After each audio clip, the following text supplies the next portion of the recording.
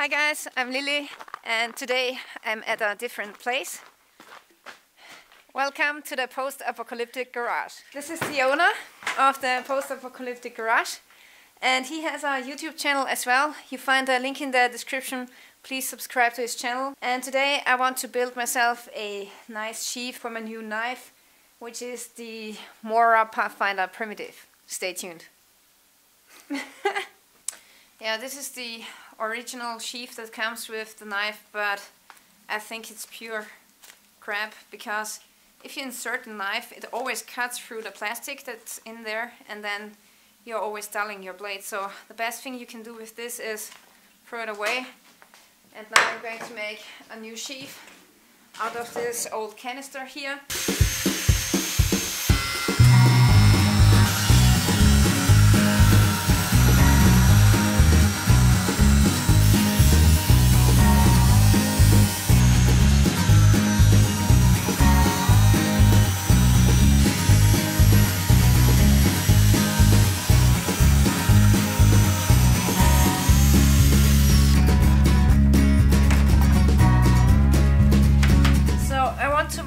Knife on my right side here and I want the belt loop to be on the left side.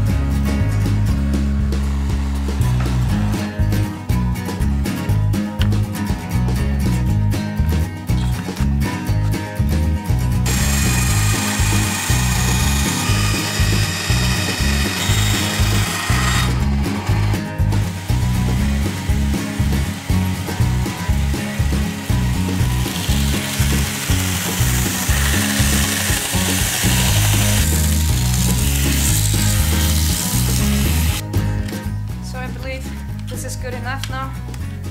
I don't need a beautiful sheath, I just need a functional sheath which holds the knife very well so it doesn't fall out.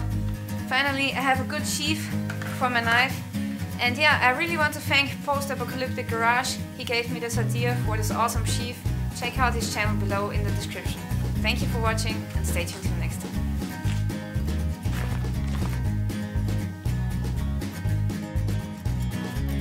Howdy, also. Hey guys. It's Veronica, Entschuldigung. Oké, bloopers am Ende. Hey Kate! hey guys. genau.